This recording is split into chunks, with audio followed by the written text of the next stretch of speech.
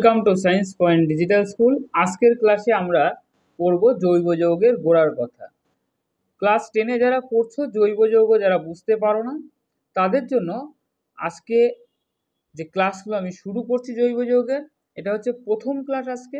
তো তোমরা কন্টিনিউ ক্লাসগুলো দেখতে থাকো আর পরবর্তী ক্লাসের ভিডিওগুলো অবশ্যই তোমরা পেয়ে যাবে। তার জন্য চ্যানেলটি সাবস্ক্রাইব করে রাখো এবং পাশে থাকা বেল আইকনটি অন করে রাখো। তাহলে নেক্সট ক্লাসের নোটিফিকেশান তোমার কাছে পৌঁছে যাবে। তো এখন আমরা আজকে শুরু করছি একদম প্রথম থেকে জৈব যৌগ অ্যাকচুয়ালি কী এবং কোথা থেকে উৎপত্তি হলো, কীভাবে কারা আবিষ্কার করলেন, এই সমস্ত ডিটেলস আমরা একটু আজকে জেনে নেব। তো প্রথমেই যদি বলি, একদম আমরা চলে আসছি ষোলোশো পঁচাত্তর সালে। ষোলোশো পঁচাত্তর সালে একজন বিজ্ঞানী যার নাম হলো ল্যামেরি। এই ল্যামেরি বলে একজন বিজ্ঞানী, প্রকৃতিজাত সমস্ত পদার্থগুলোকে, অর্থাৎ প্রকৃতির মধ্যে যত রকমের পদার্থ রয়েছে, এদের উৎসকে মূলত তিনটে ভাগে ভাগ করলেন। তিনটি ভাগে ভাগ করলেন। অর্থাৎ প্রকৃতিজাত যে পদার্থগুলো আছে, তাদেরকে মূলত তিনটে ভাগে ভাগ করলেন। তিনি প্রথমে যেটা বললেন সেটা হচ্ছে উদ্ভিজ্জ উৎস। অর্থাৎ প্রকৃতির মধ্যে যে সমস্ত পদার্থগুলো আমরা পাই, যে বিভিন্ন সেটা জৈব, অজৈব, যাই হোক না কেন, তার এক নম্বর উৎস হচ্ছে উদ্ভিজ্জ উৎস। দু নম্বর উৎস তিনি বললেন যে আর একটা উৎস আছে, সেটা হচ্ছে প্রাণীজ উৎস বিভিন্ন প্রাণী দেহ থেকেও পাওয়া যায়। এবং তিন নম্বরে তিনি আর একটা জিনিস বললেন, সেটা হচ্ছে বিভিন্ন খনিজ উৎস।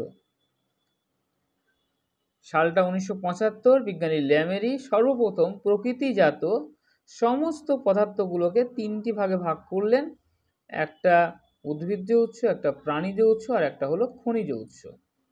এবং ঠিক পরবর্তীকালে দেখা গেল কি? পরবর্তীকালে এই দুটোকে, অর্থাৎ উদ্ভিজ্জ এবং প্রাণীজ, এই দুটোকে একসঙ্গে বলা হলো কি? যে এই দুটো মিলে হচ্ছে জৈব উৎস। এটাকে কি বলা হলো? জৈব উৎস। তাহলে প্রকৃতিজাত পদার্থ, যত পদার্থ আমরা পাই, তার একটা হচ্ছে জৈব উৎস। জৈব উৎস মানে সেটা উদ্ভিজ্জ উৎস হতে পারে, প্রাণীজ উৎস হতে পারে। তার কারণ হচ্ছে, দেখা গেল যে কিছু কিছু পদার্থ যেটা উদ্ভিদ দেহ থেকেও পাওয়া যাচ্ছে, আবার সেই পদার্থটা প্রাণী দেহ থেকেও পাওয়া যাচ্ছে। এই জন্য এই দুটো উৎস না রেখে আমরা একসঙ্গে বলে দিলাম যে একটা হচ্ছে জৈব উৎস আর দু নম্বর যেটা সেটাকে আমরা বললাম যে এটা হচ্ছে অজৈব উৎস। তাহলে আমরা প্রকৃতিজাত সমস্ত পদার্থ যেগুলো পাচ্ছি, তাদের একটা হলো জৈব উৎস আর একটা হলো অজৈব উৎস। এই জৈব উৎসের মধ্যে আমরা যদি উদাহরণ দেখি, তাহলে যেমন ধরে নাও গ্লুকোজ সরি গ্লুকোজ এটা একটা জৈব উৎস। তারপরে যদি অজৈব উৎস বলি, তাহলে যেমন খাদ্য লবণ খাদ্য লবণ, এটা হচ্ছে অজৈব উৎস। বোঝা গেল? তো এরপরে আমরা, আমাদের এখানে আমরা তো অজৈব যৌগ নিয়ে প্রচুর আলোচনা করেছি। এতদিন পর্যন্ত তোমরা এই যে ক্লাস টেনে উঠে গেছো, এতদিন পর্যন্ত অ্যাকচুয়ালি তোমরা অজৈব রসায়ন নিয়েই পড়েছো। তো এবারে আমরা প্রথম শুরু করছি কি? যে জৈব রসায়ন। জৈব রসায়ন নিয়ে আমরা আজকে আলোচনা শুরু করব। জৈব রসায়ন, ঠিক আছে? তো এখন এই যে জৈব রসায়ন, এটা কীভাবে, কোন মানে মানে কাদের আর কি গবেষণার মাধ্যমে আমরা প্রথম এইগুলো জানতে পারলাম? তো আমি প্রথমেই লিখছি যে আঠারোশো পনেরো খ্রিস্টাব্দ, সালটা আঠারোশো পনেরো। বিজ্ঞানী বার্জেলিয়াস বার্জেলিয়াস বলে একজন বিজ্ঞানী বার্জেলিয়াস। এই বার্জেলিয়াস বলে বিজ্ঞানী তিনি কি বললেন? তিনি বললেন যে উদ্ভিদ এবং প্রাণীদেহে উপস্থিত প্রাণশক্তির সাহায্য ছাড়া তিনি বললেন যে উদ্ভিদ ও প্রাণীদেহে প্রাণীদেহে উপস্থিত প্রাণশক্তির সাহায্য ছাড়া প্রাণশক্তির সাহায্য ছাড়া জৈব যৌগগুলোকে পরীক্ষাগারে প্রস্তুত করা সম্ভব নয়। এটা প্রথম আঠারোশো পনেরো খ্রিস্টাব্দে বিজ্ঞানী বার্জেলিয়াস বললেন। এরপরে সময় আস্তে আস্তে গড়াচ্ছে। সালটা আঠারোশো আঠাশ। এই আঠারোশো আঠাশ সালে বিজ্ঞানী ভোলার। ভোলার বলে একজন বিজ্ঞানী, এগুলো ভালো করে তোমরা জেনে রাখো, এগুলো কিন্তু শর্ট কোশ্চেন আসতে পারে। বিজ্ঞানী ভোলার, সর্বপ্রথম তিনি পরীক্ষাগারে পরীক্ষাগারে কি করলেন? একটা জিনিস তৈরি করলেন। কি? না, তিনি ইউরিয়া তৈরি করলেন। পরীক্ষাগারে বিজ্ঞানী ভোলার ইউরিয়া তৈরি করলেন। তাতে নতুন কি হলো? ইউরিয়া তৈরি করলেন, তাতে নতুন কিছু মানে নতুন আবার আশ্চর্যের কি ব্যাপার হলো? আশ্চর্যের ব্যাপার হলো এইটাই যে আঠারোশো পনেরো সালে বিজ্ঞানী বার্জেলিয়াস বললেন যে উদ্ভিদ এবং প্রাণী দেহে দেহে যে প্রাণ শক্তি ছাড়া পরীক্ষাগারে জৈব যৌগ প্রস্তুত করা সম্ভব নয়।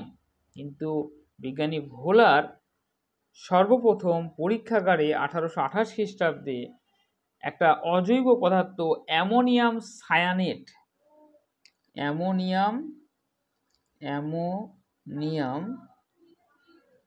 ammonium cyanate বলে, সায়ানেট। এইরকম একটা অজৈব যৌগ থেকে কি তৈরি করলেন তিনি? একটি একটি, এটা একটা অজৈব পদার্থ হ্যাঁ? অ্যামোনিয়াম সায়ানেট হচ্ছে একটা অজৈব পদার্থ। এখান থেকে তিনি প্রস্তুত করলেন ইউরিয়া। ইনি প্রস্তুত করলেন ইউরিয়া, যেটি একটি জৈব যৌগ। তাহলে দেখো,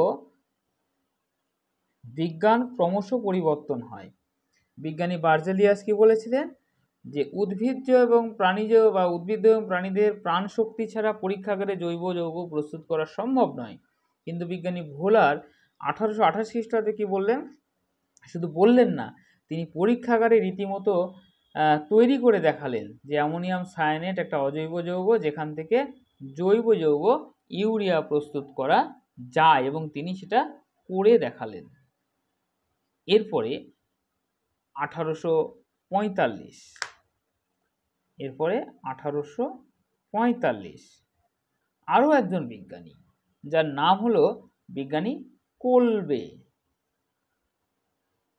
বিজ্ঞানী কোলবে তোমরা এর পরবর্তী ক্ষেত্রে যখন পড়বে, দেখবে কোলবে রিয়াকশান বলে রিয়াকশান আছে, সেগুলো তোমাদের পড়তে হবে।